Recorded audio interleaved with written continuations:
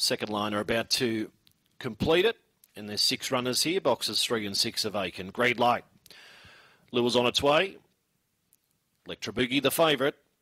They're set racing. Bungalow Ann off the inside was the best to go, but Lectra Boogie out in the centre now accelerating with mediation into the first bend. Bungalow Ann going through along the inside, then Zipping Cola, Galactic Medusa, Connie's Entity.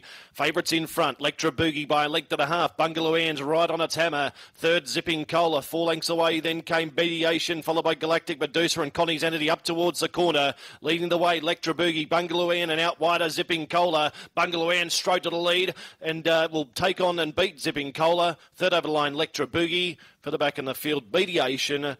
Then Galactic Medusa, Connie's Entity. And the time was around 29 and 80.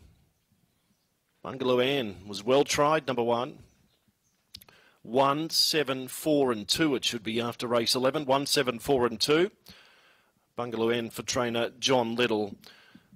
Just uh, kept on that leader's hammer, Lectra Boogie. So one, seven, four, and two. 29, 84. 29 and 84. Margins won't be too far away. So the numbers are in the frame 1, 7, 4, and 2 after race 11.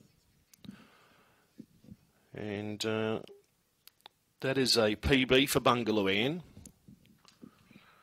So one and a half by one and a quarter the margins on race 11, 29 and 84, 29, 84, 1742.